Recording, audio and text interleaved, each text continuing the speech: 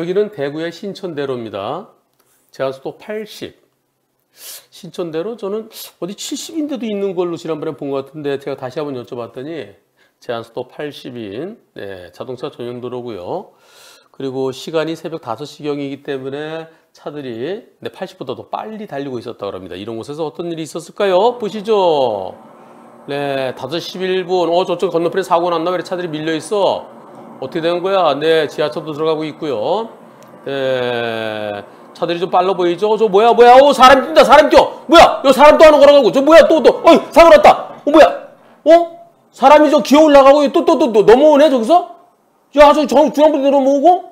뭐 뛴다, 뛴다, 뛴다, 뛴다, 또, 또, 또, 또, 저 도, 도, 도망가고, 또, 또 뛰고, 또 뛰고, 뭐야? 저기, 저기, 저 무단횡 가는 사람이 들어올 때가 아닌데? 야, 이거 어떻게 된 거야, 이거, 이거? 뭐 계속 도망가는데? 들어올 때가 아닌데? 어떻게 된 거야? 어떻게 계속 뛴다?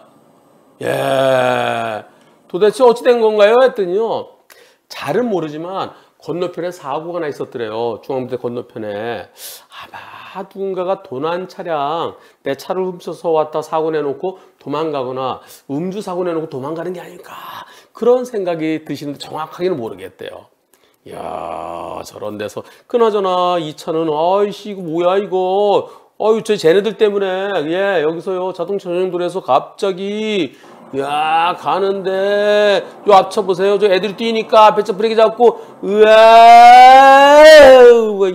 아, 요 혼자 그냥 가드레 들이 박서, 아유, 이, 야, 진짜 저러다 쟤네들 저러다 죽어도 죽어도 죽어도 죽어도, 야, 아, 미쳤죠, 정말. 도대체 뭔 일이래요? 허허. 이게 지난 1월 11일에 있었던 일인데요.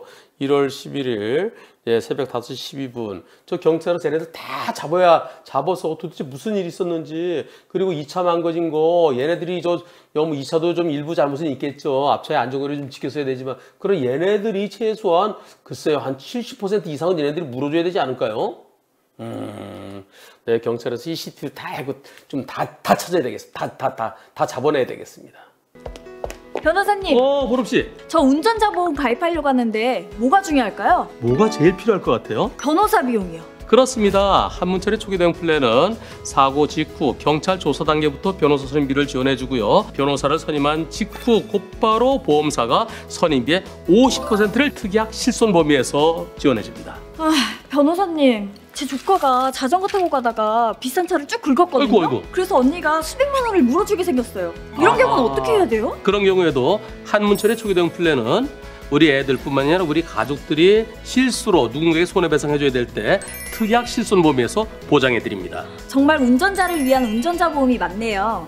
운전할 때도 운전 안 할 때도 정말 든든하네요. 그럼요. 저 한문철이 제 이름을 걸고 만들었습니다. 제대로 만들어야죠. 1644 0078 보험 체결 전 상품 설명서 및 약관을 읽어보시기 바랍니다.